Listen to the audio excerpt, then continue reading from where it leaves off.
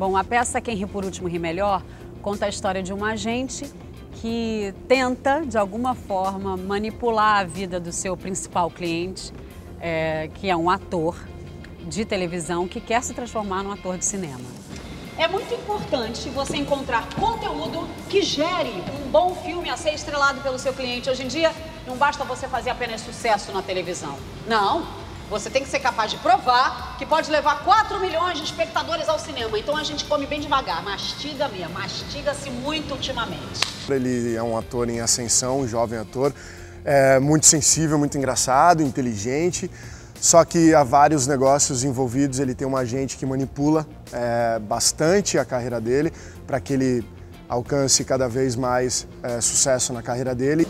Faz o menor sentido. Pela primeira vez na vida eu vou pensar em mim não, primeiro. Não, você é um ator, definição você sempre pensa em você primeiro. Eu acho que durante o espetáculo fica muito claro é, essa manipulação né, de todos, não só dela em relação ao seu cliente, mas como dela em relação às pessoas que o cercam na vida.